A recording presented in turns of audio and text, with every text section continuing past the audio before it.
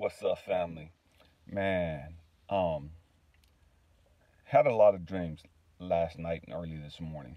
Um, one of the dreams that I had that kind of stuck with me um, was that my childhood friend, this guy by the name of Aaron, who passed away like three, four years ago, and um, we're in the car, and man, I was cleaning out these big pieces of glass.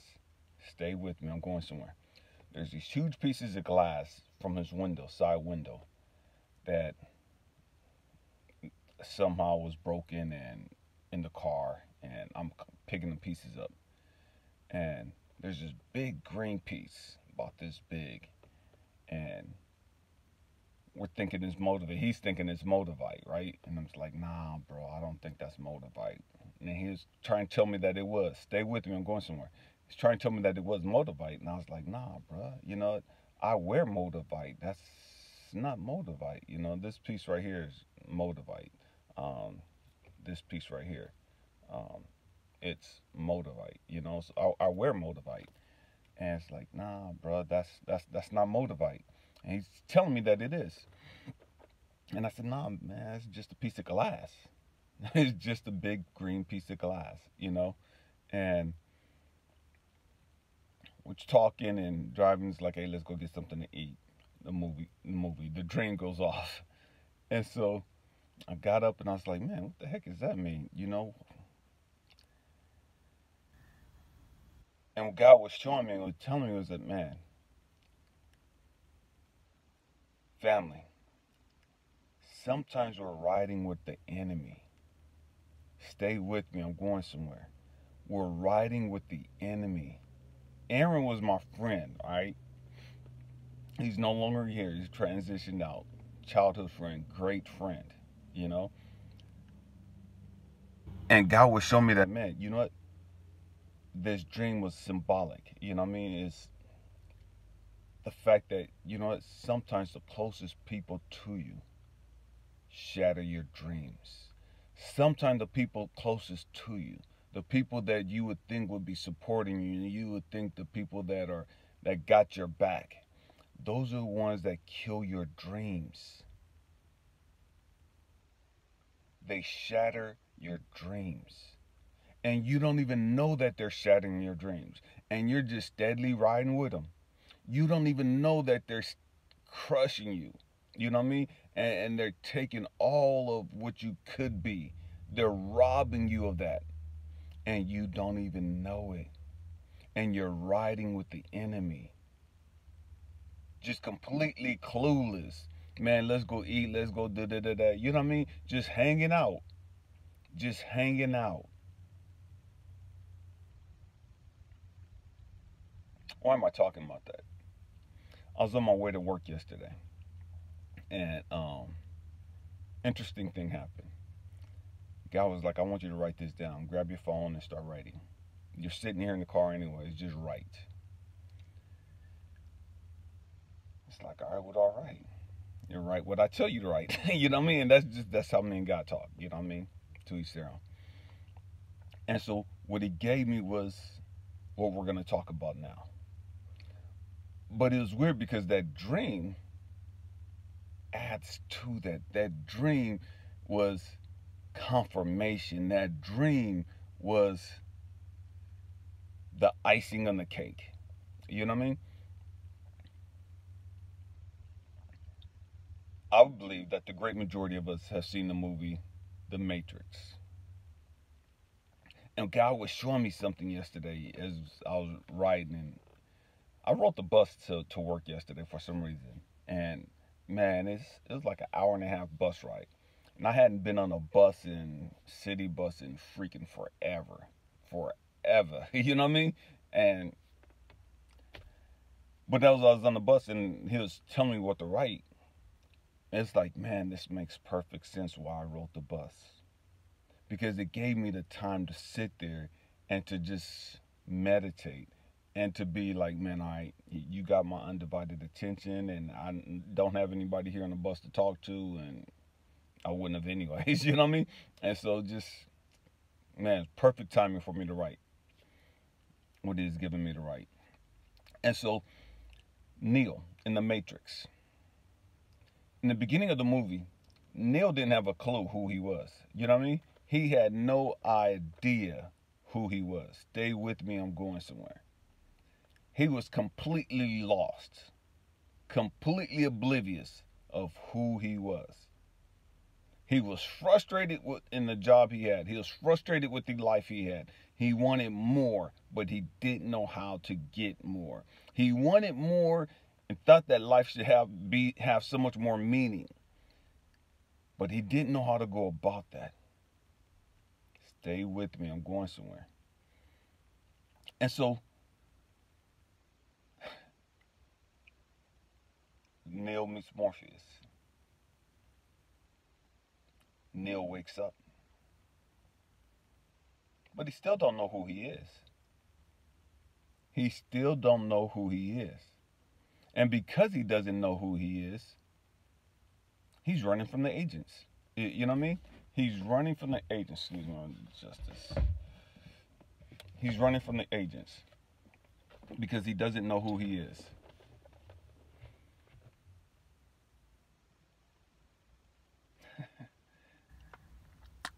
He gets a better understanding of who he is.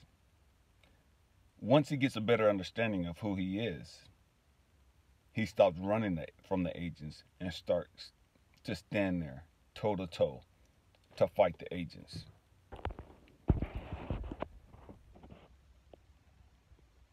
But he still really don't know who he is. He still really don't believe he is who he is. He really don't believe he has the power to do what he's supposed to do and to be who he is.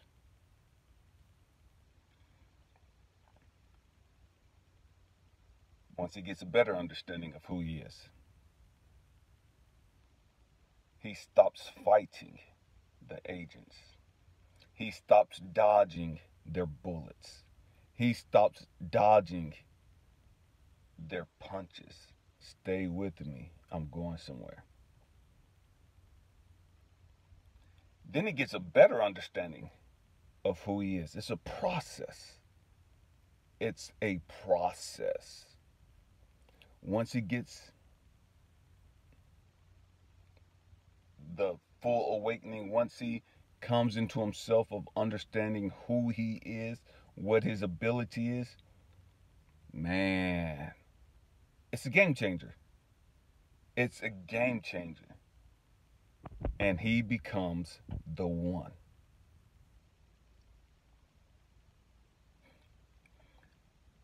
That's that's who we are, family. That's who we are. We're Neo in the process. What do I mean, we're Neo, Neo on our journey. You know what I mean? And so many of us, we're still asleep. You know what I mean? We're still asleep. We're Neo at the beginning of the movie. Some of us, we're Neo understanding that, man, they're agents out there. And the agents are out to get us. You know what I mean? And, man, we're running from them. And then some of us, we're Neo. We're like, oh, no, I ain't running from you. Um, let's go. You know, and we're standing toe to toe. And then there's some of us, we're Neo in the aspect that, man, psh, you can't see me. you know what I mean? You can't take this fade, man. I'm just, I'm just one hand behind my back, and the other hand, I'm just blocking your punches. You know what I mean? Man, I'm dodging your bullets and whoop whoop whoop. You know what I mean? And that's where some of us are at. And then some of us, man, we know we're the one. We know we're the one. I ain't got to block your bullets. I ain't got to dodge your bullets. I could stand there and just, peace, be still. And your bullets gonna stop right where they at. You know what I mean? Some of us, that's where we at. Some of us, man, we have the ability to just take off. Stay with me. I'm going somewhere. Family. Once you really know who you are and understand there are stages. There's a process to this. Okay? So don't think that just because you think you woke that you the one. Don't and what I mean by that, because you are the one, but don't think that you completely got that power. Don't think that you just because you you you you became awoke last night or you became awoke a year ago that man you've arrived you know what i mean you're neo at the end of the movie because you ain't there yet you ain't there yet you know, there's a process there's a process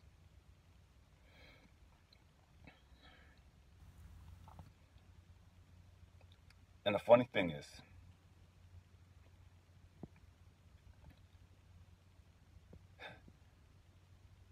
your family, those closest to you, they inherently know that you're the one. They're going to hate on you. They're going to try to steal your dreams, shatter your dreams, because they don't understand that they could be the one too. They don't know how to get there. and they're mad and frustrated and jealous that you're on that road. And nothing they've done has gotten them on that road.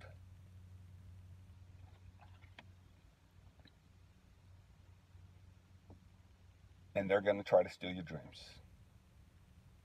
They're going to try to shatter your dreams, all your hopes.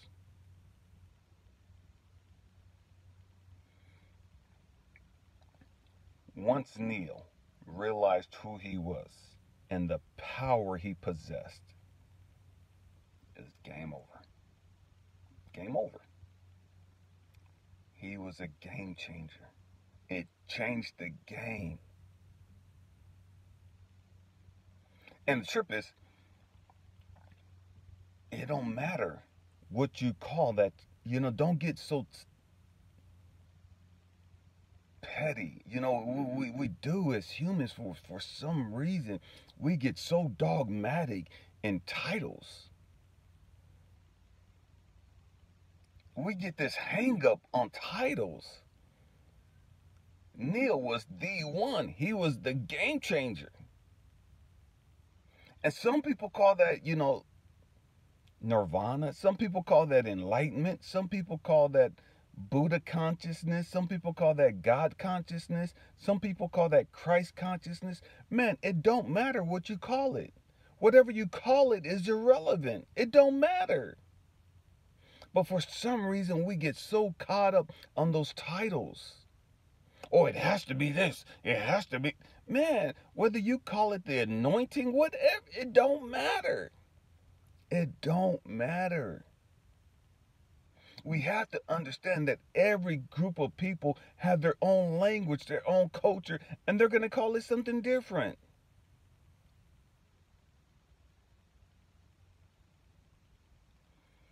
We have to grow up, family. We have to understand that, man, if you arguing and fighting over this title, man, you ain't nowhere close to that title. You don't deserve that title. You're nowhere close to even having that title.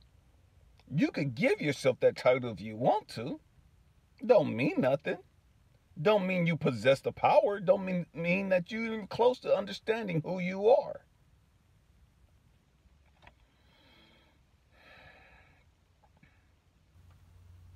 And a trick. Your family, your friends, your loved ones that don't understand why you're the one, man, they're going to call you arrogant. They're going to call you narcissistic. They're going to call you all kinds of crazy things to demean you and to belittle you and to minimize you and whoop de whoop de. You can't be the one. Look how many times you've been divorced. You can't be the one. Look how many baby daddies you got. You can't be the one. Look how many baby mamas you got. You can't be the one. Look how many times you've been to the pen. You can't be the one. Look how many times you've been strung out on dope. You can't be the one. Ain't you an ex felon? Ain't you an ex crackhead? Ain't you an ex-tweaker? Ain't you da da da da da? Man, they got all these reasons why you can't be the one. They got all the reasons in the world why you can't be the one, why you can't be the game changer.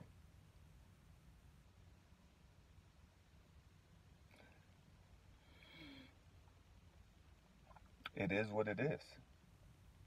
It is what it is. Understand that. Understand that it's going to break your heart. Understand that it's going to hurt you. Knowing that your family, your loved ones, your friends, your whatever, man, that they they're still in your dreams. And that they're going to minimize you this way and that they're going to turn their back on you.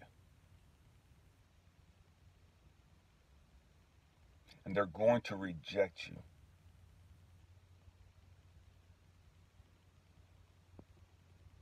They're going to say you're crazy. They're going to say all kinds of things against you and about you. Understand, family, that whatever they say, whatever they do, is a reflection of their growth and development, not yours. I'm going to say that again. Whatever these people do, whatever these people say, it's a reflection of their growth and development, not yours. You are the one. You are the game changer. My hope and prayer is that you understand that, that you embrace that, and you stop riding with these people that are robbing you of your energy, robbing you of your potential that are distracting you, that are purposely distracting you to keep you from doing what you came here to do.